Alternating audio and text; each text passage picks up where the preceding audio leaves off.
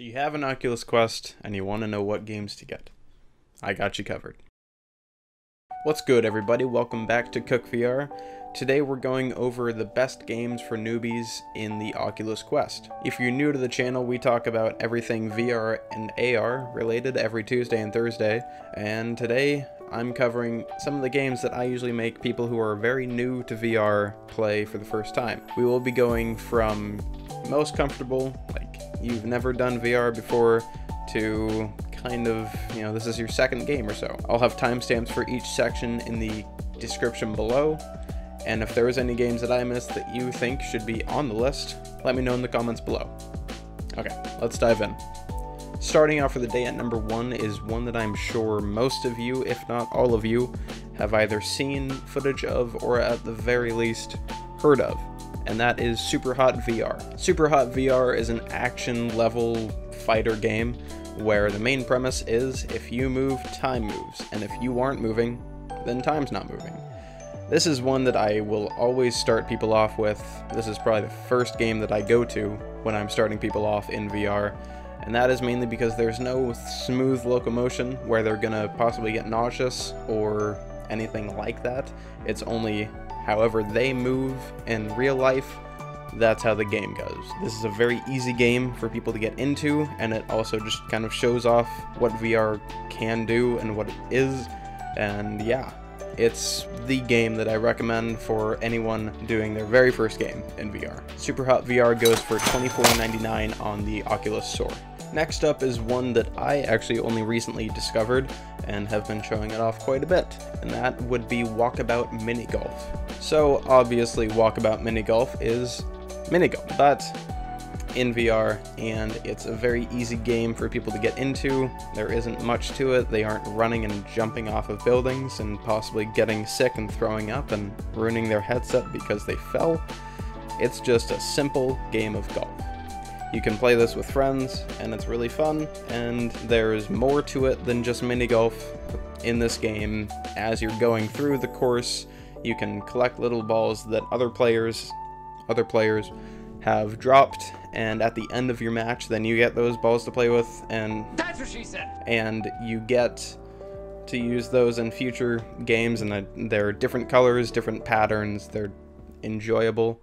It's just a game that you get into that you just relax, play with your friends if you have any friends, not like me, and you just have fun playing mini golf and seeing mountains, pirates, anything really.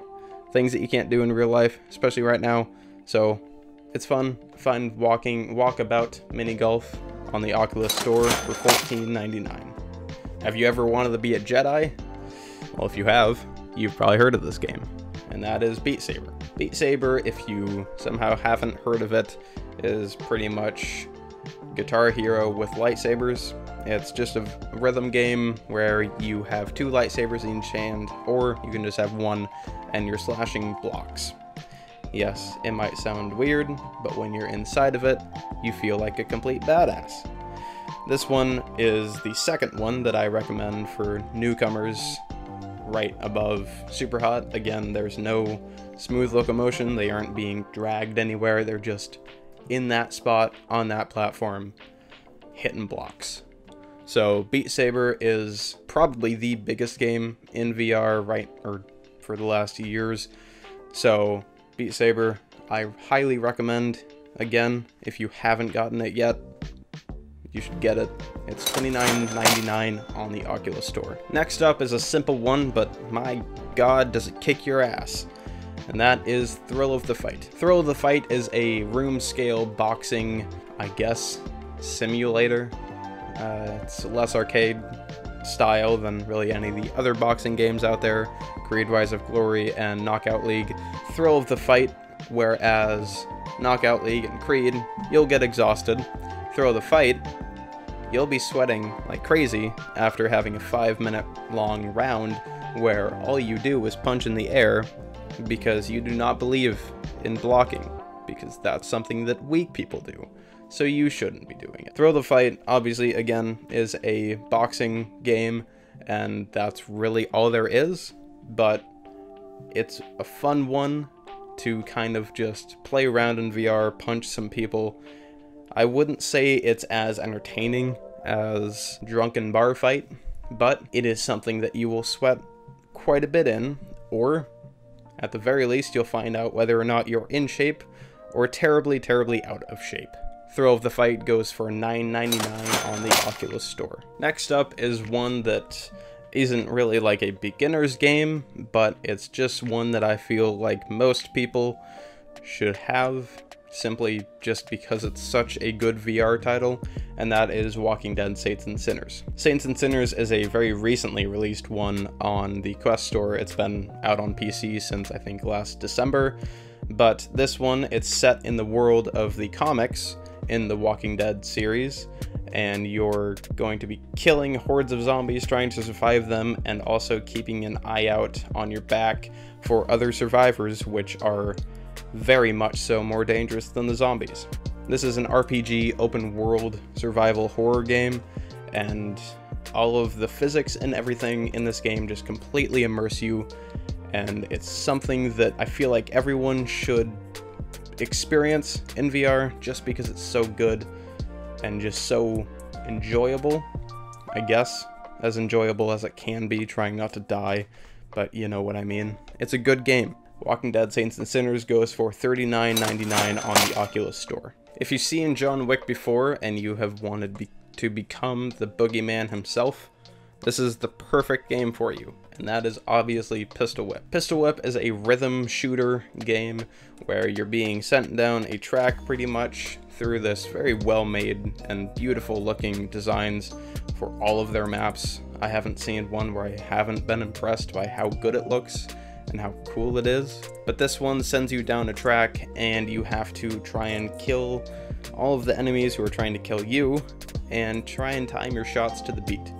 The more in tempo your shots are, the more points you get. In this game, you will find out a few minutes after that there was an aim assist after you felt like you were hitting them every single time and you thought that you were the best shooter in the world, and then you turn off aim assist and you're terrible. Pistol Whip is a very fun game, they have lots of tracks, and everything's free, and soon they'll be coming out with a story mode for the game that is set in a cyberpunk world.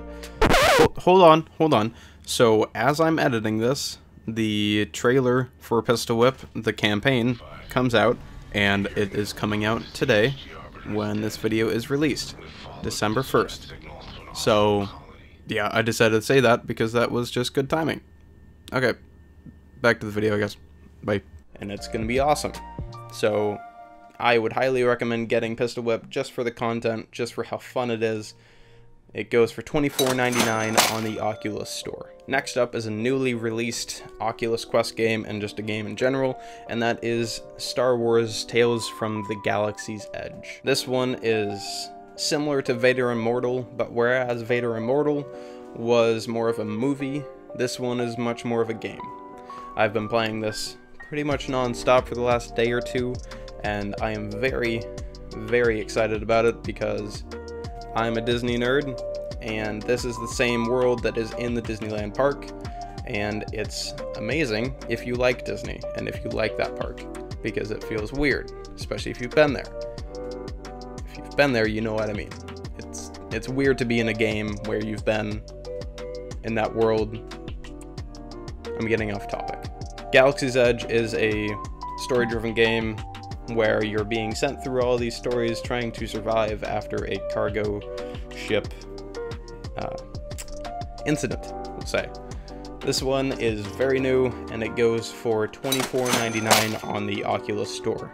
Second to last is another multiplayer game that you can play with your friends, and it is uh, quite a bit more intense than Walkabout VR, or Walkabout Mini Golf, whatever it's called, and that is Solaris Off-World Combat. Solaris is a team-driven first-person shooter where you and your teammates are trying to take over and hold objectives and gain points and again gain the lead. This is a sci-fi based game where all of your weapons are sci-fi, all of the people are uh, wearing these esports looking helmets and it's a very fun game. It is not one that I would say should be your first game because there is smooth locomotion. You can possibly get pretty nauseous if you haven't built up your legs in VR the best yet. So this is one that I would say probably your third or so title of playing games, but I highly recommend it because the team behind it, First First Contact, is amazing. They did the P PlayStation game, which is called Firewall Zero Hour, Rainbow Six Siege in VR pretty much is what most people call it. And this one, Solaris, is probably better. This one is it's very easy for beginners to jump in. The controls aren't very difficult. It's just a fun game. You go in there, you shoot, you try and hold objectives, you win. And recently, Solaris has been optimized for Oculus Quest 2. I mean, not really recently, it's been a little over a month now. My god, time is flying by in quarantine. But Solaris, very good game, highly recommend.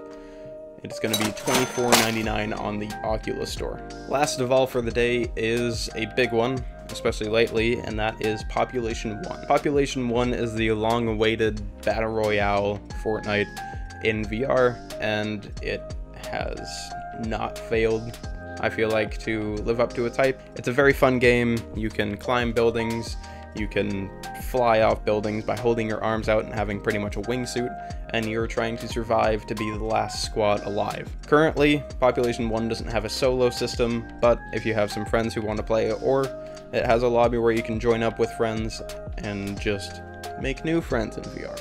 Something I'm terrible at doing, but I'm trying to learn. I'm trying to socialize. I'm terrible at it, but we're getting there. I'm gaining friends. Eh, sort of.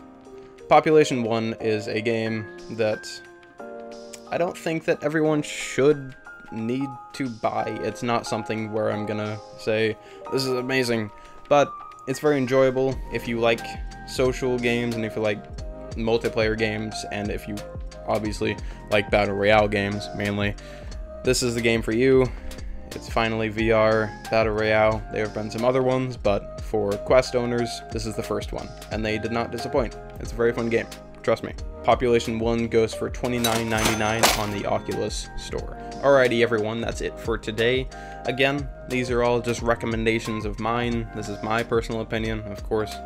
If you have any games that you think are important for beginners in VR who just got an Oculus Quest to know, feel free to leave a comment down below. If you like this video and you want to see more Oculus Quest content like this and more VR gameplay and guides like this, be sure to subscribe and turn on the ring bell to be notified whenever I release a new video on Tuesdays and Thursdays, and I also stream live on Twitch and YouTube on Tuesdays and Thursdays. If there's anything else that you want me to cover, VR related or Quest related at all, leave a comment down below. I'll try and see what I can do if I can do it. Alrighty everyone, have a great day. Bye.